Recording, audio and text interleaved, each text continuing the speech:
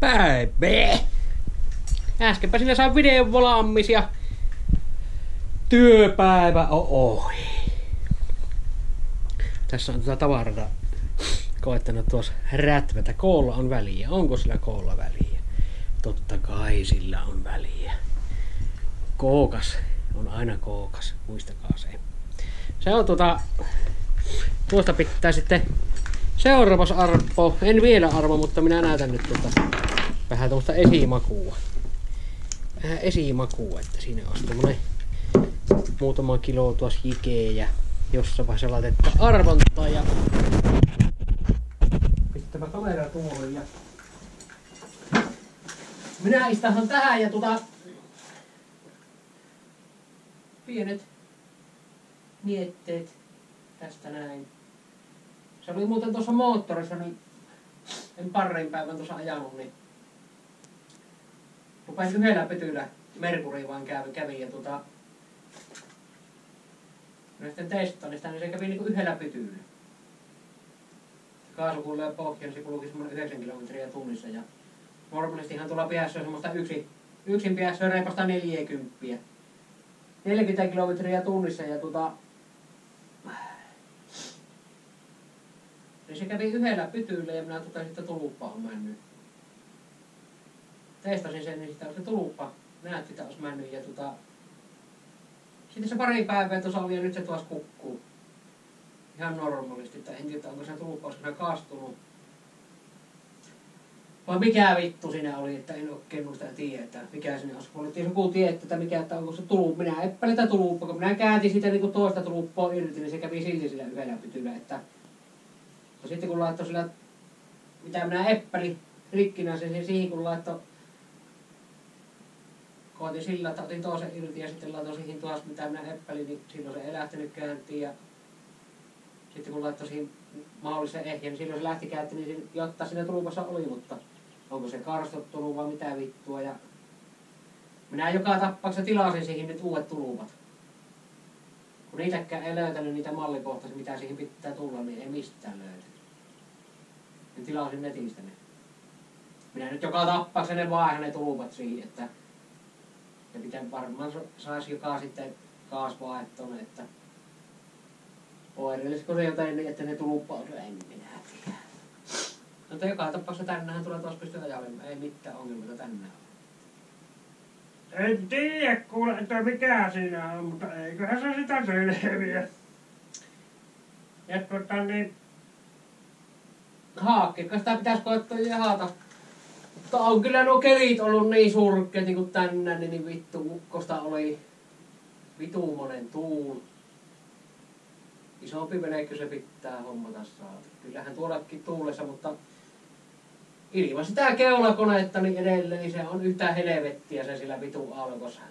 alkossa että ei se tuommoinen naruankkuri, niin se on ihan niinku yhtä tyhjän kanssa siinä. Vittu, vittu tuolla selällä ollut. Keulakoneessa pitää, kyllä se on vittu pakko hommata, ei sinä muu.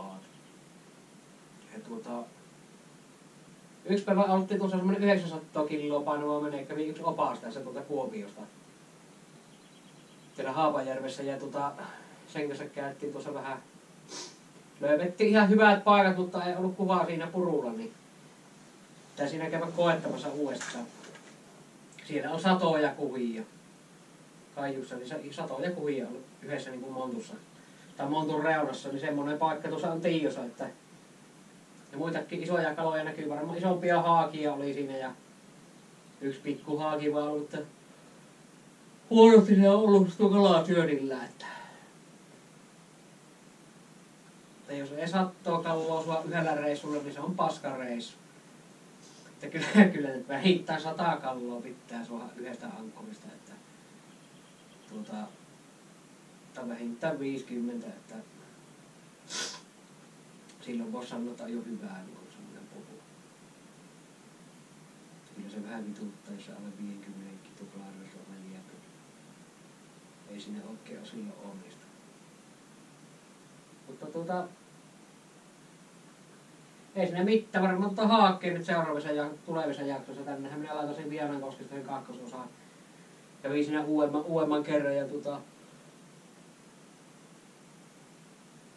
pitää sitten noita muita koskia, tuossa Leppäsen koskee sun muita käydä ja ihan sitten perhovehkeillä toiminta ja tuommoisen sun muita. Kylläkään tässä sitä ohjelmaa tuossa olisi. Tuota niin.